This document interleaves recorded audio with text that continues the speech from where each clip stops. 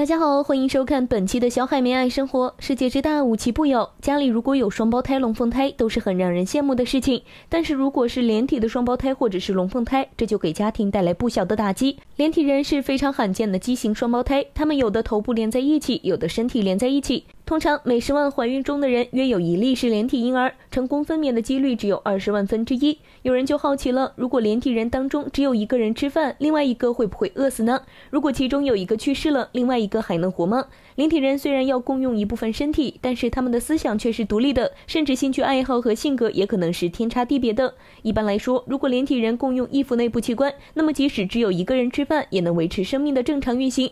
因为身体的原因，做任何事情两个人都必须要在一起，这就需要他们有着更高的默契度。另外一方面，连体人和正常人一样，都要面对生老病死，因为他们的血液和人体构造是相同的。如果有一个人去世了，没有及时的通过手术分割开来，一旦坏死的身体造成细菌病毒，那么另外一个人也会相继的死去。目前连体婴儿的分离手术成功率极低，因为身体的原因，连体人不仅生活上有着很多的不便，有时也会遭到周边人异样的眼光。所以为人父母一定要在怀孕期间做好各项检查，不要让孩子生下来受尽折磨。好了，今天的节目就到这里，喜欢的话请点击关注，我们下期再见。